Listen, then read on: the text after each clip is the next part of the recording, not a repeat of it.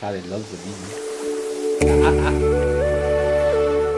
Hi. Hi guys and welcome down to the weekly vlog. Now, uh, it's been a bit of a delay this week due to a few things. One, the weather, and two, now I've got this new camera which I am looking at right now through this lens. I'm using the Sony a5000 and I'm finding it, this is the first time using it, it's pretty damn good. That being said, I'm going to take this out and I'm going to do a few test shots and all that kind of stuff. So I can give you a bit of review on the camera as well, might as well. Why not? It's YouTube, you can do whatever you want. Check out Onix Golf where you can get all these cool hats from. They do other colours as well. Cheers Onix Golf for sorting this out. He's also personalised it. You see there? You see the cage? There you go. So that's how it goes.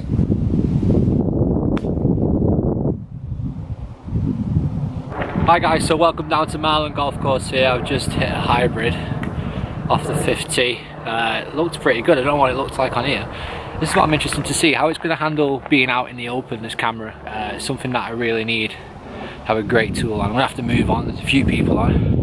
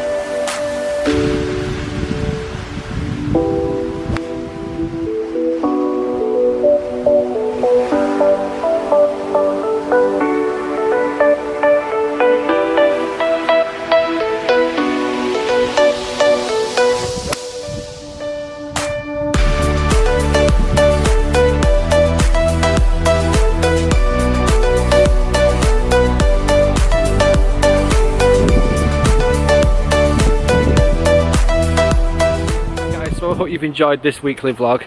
It's been very fun for me again to make and uh, lots of different things adding to the channel now, which is great. I'm loving this new camera.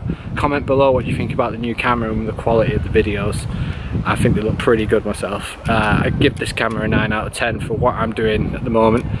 It's great guys, so follow me on Instagram at Luke H Golf. Follow me on Twitter at Luke H Golf.